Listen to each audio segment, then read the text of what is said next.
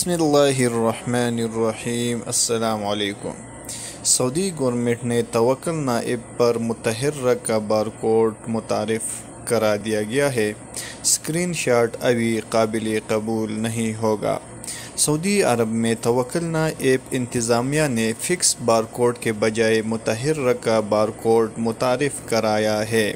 اخبار چوبیس کے مطابق متحرک بار کوڈ کی خاصیت متعارف کرانے کے باعث ہیلتھ سٹیٹس کے لیے توکل ایپ کھولنا ضروری ہوگا۔ محض اسکرین شاٹ دکھانے کا راستہ بند ہو جائے گا اسکرین شاٹ قابل قبول نہیں ہوگا۔ متحرکہ بارکوڈ کی خاصیت توکل ایپ پر متعارف کرائی گئی ہے، جس سے پتہ لگایا جا سکے گا کہ یہ اسکرین شاٹ ہے یا اصل بارکوڈ۔ خیال ہی میں بعض لوگ اسکرین شاٹ کے ذریعے کافی دھوکہ چلا رہے تھے اور تجارتی مرکز میں انٹر ہوتے تھے، ابھی ایسا نہیں ہوگا۔